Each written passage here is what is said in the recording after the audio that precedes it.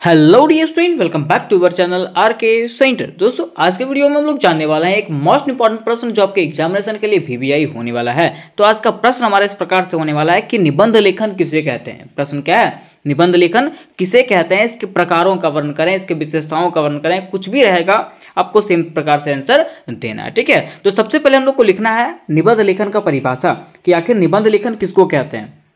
तो देखिए दोस्तों, अगर हम लोग बात करते हैं निबंध लेखन का, किसका?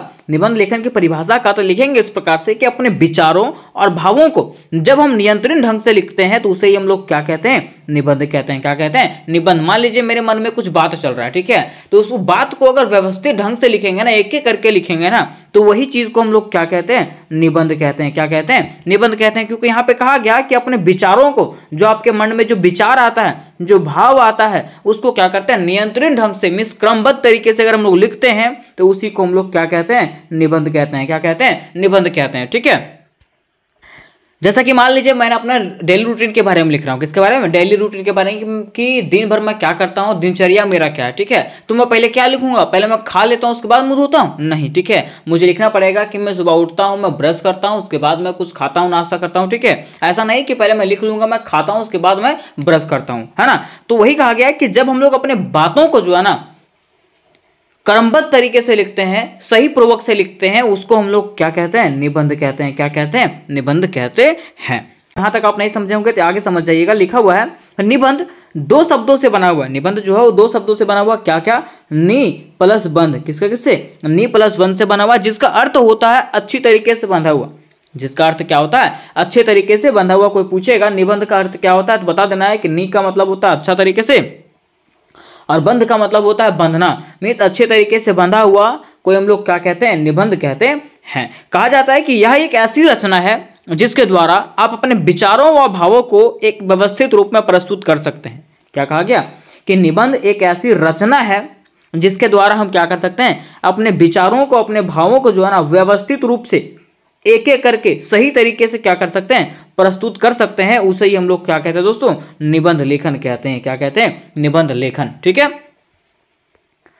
अब देखिए, कहा गया कि निबंध हिंदी भाषा का वह लिखित रूप है। अगर हम लोग निबंध की बात करते हैं तो निबंध जो है ना, हिंदी भाषा का वह लिखित रूप होता है, जिसमें अपने विचारों को व्यवस्थित और क्रमबद्ध रूप से सरल और स्पष्ट भाषा में प्रस्तुत किया जाता है। उसको हम लोग क्या कहते हैं? निबंध लेखन कहते हैं। क्या कहा गया?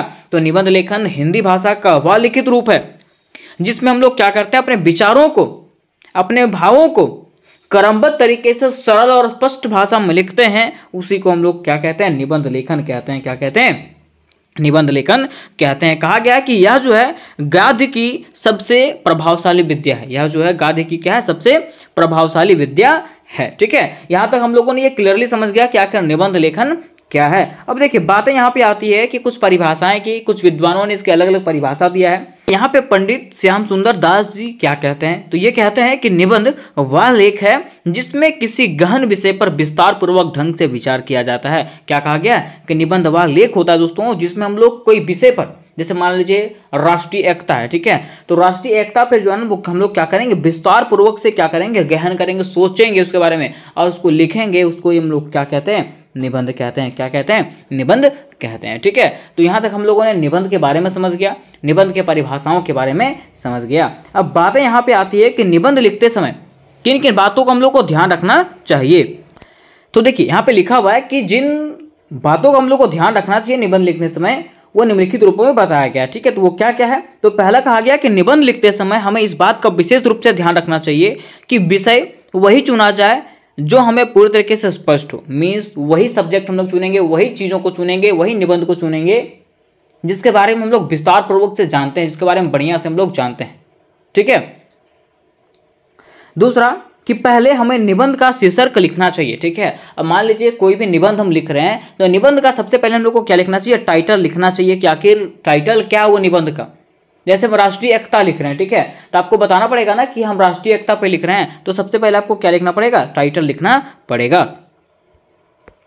फिर कहा गया कि अपनी समझ, ज्ञान और अनुभव के आधार पर निबंध को उसके प्रमुख अंगों अर्थात विभिन्न बिंदुओं में बांट लेना चाहिए, ठीक है? मीन्स अपने अनुसार से, अपने समझ के अनुसार से, अपने ज्ञान के अनुसार से आपको क्या करना चाहिए? निबंध को जो है ना, उसके अंगों में बांट लेना चाहिए, ठीक है? जैसे वो क्या? शीर्षक देना पहला, प्रस्तावना में बांट लेना, ठीक है? उसके इंपॉर्टेंस में बांट लेना, फिर उपसंहार में बांट लेना तो ये चीज़ करना चाहिए, है ना? आगे कहा गया चौथा में कि निबंध को सरल भाषा में लिखना चाहिए। निबंध जब हम लोग लिखते हैं ना तो निबंध जो है कैसा भाषा होना चाहिए? तो निबंध का भाषा जो एकदम इजी वे में होना चाहिए, ताकि लोग जो उसको पढ़ के तुरंत समझ जाए, है ना? कि ये क्या बताना चाह रहा है।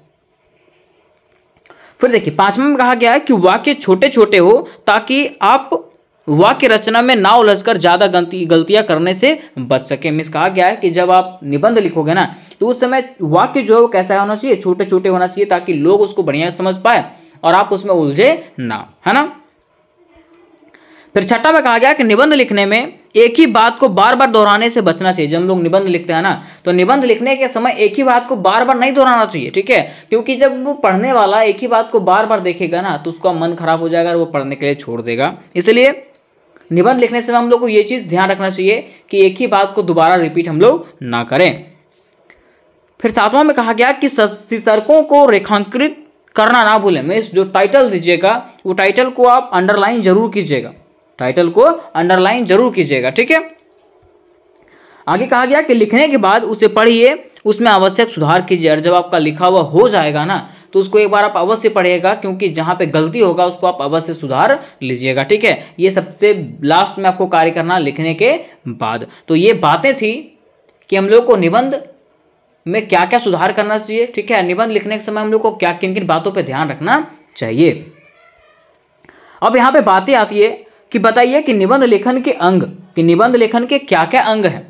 क्या बात आएगा कि निबंध लेखन के क्या क्या अंग हैं? तो कहा जाता है कि निबंध लेखन के प्रमुख चार अंग होते हैं। निबंध के प्रमुख चार अंग होते हैं, जिसमें से पहला आपका है शीर्षक, दूसरा है प्रस्तावना, तीसरा है विस्तार और चौथा है उपसंहार। ठीक है? ये चार अंग जो है, वो निबंध लेखन के समय नेसेसरी होता है। ठीक है?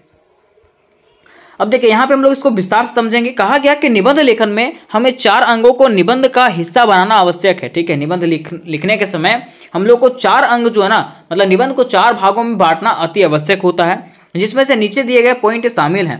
पहला आपका शीर्षक, ठीक है? कोई भी निबंध आप लिखोगे तो निबंध लिखते समय शीर्षक देना अति आवश्यक होता है मीन टाइटल देना उसका अति आवश्यक होता है। क्योंकि कहा जाता है कि निबंध में हमेशा शीर्षक जो है ना, आकर्षक होना ज़रूरी है, ठीक है? मीन्स जब हम लोग निबंध लिखते हैं तो निबंध का जो शीर्षक होता है टाइटल जो होता है, वो हमेशा आकर्षक होना चाहिए, ठीक है? क्योंकि उसी के अनुसार से लोग उसको पढ़ते हैं, है ना? कहा गया कि शीर्षक पढ़ने से लोगों में उत्सुकता बढ़ती है, ठीक है? जब लोग टाइटल पढ़ते हैं ना टाइटल पढ़ने के बाद लोगों में क्या होता है? उसको पढ़ने का जिज्ञासा उत्पन्न होता है लोग उसको पढ़ने के लिए उतावले होते हैं, है ना? फिर देखिए, दूसरा इसका अंग है प्रस्तावना। क्या है? प्रस्तावना। कहा गया कि निबंध में सबसे श्रेष्ठ प्रस्तावना होता है। निबंध में सबसे श्रेष्ठ क्या होता है? प्रस्तावना होता है, जिसे हम लोग भूमिका के नाम से भी जानते हैं। किसके नाम से? भूमिका के नाम से भी जानते हैं। कहा गया कि निबंध के शुरुआत में हमें किसी भी प्रकार की स्तुति, श्लोक या उदाहरण से करते हैं तो उसका अलग अलग ही प्रभाव पड़ता है। ठीक है, हम इस कह सकते हैं कि निबंध की शुरुआत में जो है ना, हम लोग कोई अलग प्रकार का कविता लिख सकते हैं, ठीक है, उदाहरण दे सकते हैं, किसी भी प्रकार से उसका शुरुआत कर सकते हैं। किसमें? प्रस्तावना में, ठीक है? फिर कहा गया विषय विस्तार, क्या है कहा गया? कि विषय विस्तार, कहा जाता है कि निबंध में विषय विस्तार का सर्वप्रमुख अंश होता है, ठीक है? निबंध में जो है ना, विषय विस्तार का क्या होता है? सर्वप्रमुख अंश होता है। इसके अंदर तीन से चार अनुच्छेदों को अलग अलग पहलुओं पर विचार प्रकट किया जा सकता है, ठीक है? और निबंध लेखन में इसका संतुलन होना बहुत ही आवश्यक है। विषय विस्तार में निबंधकार अपने दृष्टिकोण को प्रकट करते हुए बता सकता है, ठीक है? अब देखिए, होता क्या है कि आपका प्रस्तावना के बाद तीसरा जो आता है, वो क्या आता है विषय विस्तार। मीन्स जिस चीज़ पे आप लिख रहे हैं, उसके इंपॉर्टेंस को बताइए। क्या क्या उसका क्या महत्व है? ठीक है? उसके बारे में लोग क्या सोचते हैं? हर चीज़ों के बारे में आप किसके किसमें लिखोगे? तो विषय विस्तार में ही लिखोगे किसमें? विषय विस्तार में ही लिखोगे। और लास्ट में जो आपका आता है, वो है उपसंहार। क्या है? उपसंहार कि आपको अंत करना है निष्कर्ष के साथ में, ठीक है? तो वही कहा गया कि उपसंहार को निबंध के सबसे अंत में लिखा जाता है। उपसंहार को जो है निबंध के सबसे अंत में लिखा जाता है। जिसमें पूरी निबंध में लिखे गए बातों को हम एक छोटे से लाइन में लिखते हैं, जिसमें क्या करते हैं हम लोग, पूरे निबंध में जो बातें लिखे हैं, उसको हम लोग एक छोटे से लाइन में जो है ना, लिख करके बयां कर देते हैं। कहा गया कि इसके अंदर हम संदेश लिख सकते हैं, कोई उपदेश दे सकते हैं, कोई विचार दे सकते हैं और कोई कविता के पंक्ति के माध्यम से जो है इसको हम लोग समाप्त कर सकते हैं। किसमें लिख करके? उपसंहार में लिख करके। तो आइए चलिए मैं आपको एग्ज़ाम्पल के थ्रू से उसको दिखा देना चाहता हूँ कि आखिर किस प्रकार से हम लोगों को लिखना चाहिए, ठीक है? देखिए दोस्तों, ये रहा हमारा निबंध। क्या रहा? निबंध रहा, ठीक है? और ये ऊपर में लिखा हुआ हमारा क्या?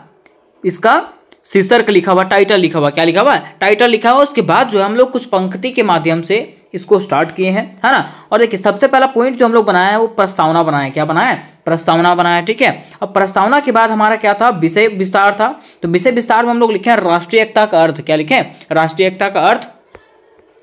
और और लिखे हैं कि राष्ट्रीय एकता की क्या महत्व है क्या आवश्यकता है, उसके बारे में लिखे हैं विषय विस्तार में, ठीक है?